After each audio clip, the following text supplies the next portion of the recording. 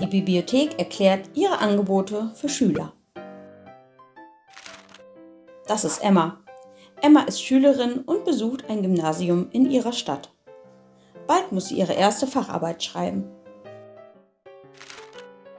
Emma hat zu ihrem Thema schon ein bisschen im Internet recherchiert. Ihr Lehrer hat aber gesagt, dass sie auch in die umliegenden Bibliotheken, zum Beispiel die der Fachhochschule Südwestfalen, gehen soll, um die Bücher dort zu nutzen. Aber darf sie das denn so einfach? Sie studiert ja noch gar nicht. Emma ist ein bisschen nervös, als sie die Bibliothek betritt und die Bibliothekarin um Hilfe bittet. Sie erklärt Emma, dass sie alle Medien in der Bibliothek nutzen kann. Bücher, Zeitschriften und Zeitungen, aber auch E-Medien.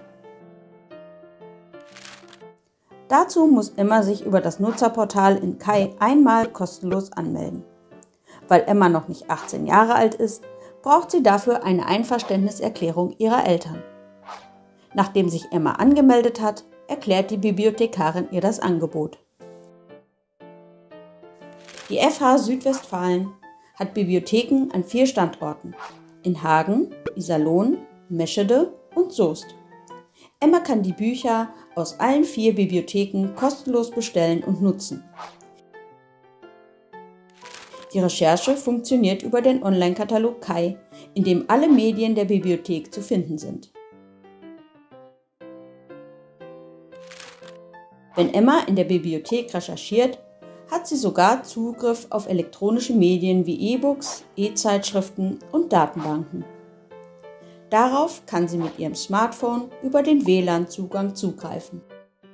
Das große Angebot an E-Medien ist eine sehr gute Ergänzung zu den gedruckten Büchern aus der Bibliothek.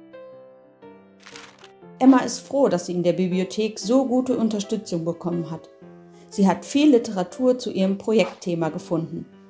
Wenn sie später mal studiert, denkt Emma sich, wird sie hier gern ihre Zeit verbringen.